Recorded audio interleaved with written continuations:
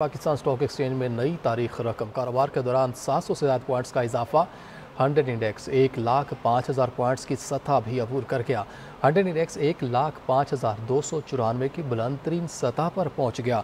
Pakistan stock exchange में नई तारीख रकम। कारोबार के दौरान सात सौ से ज़्यादा पॉइंट्स का इजाफा। हंड्रेड इंडेक्स एक लाख पाँच हज़ार पॉइंट्स की सतह भी अबूर कर गया। हंड्रेड इंडेक्स एक लाख पाँच हज़ार दो सौ चौरानवे की बुलंद तरीन सतह पर पहुँच गया।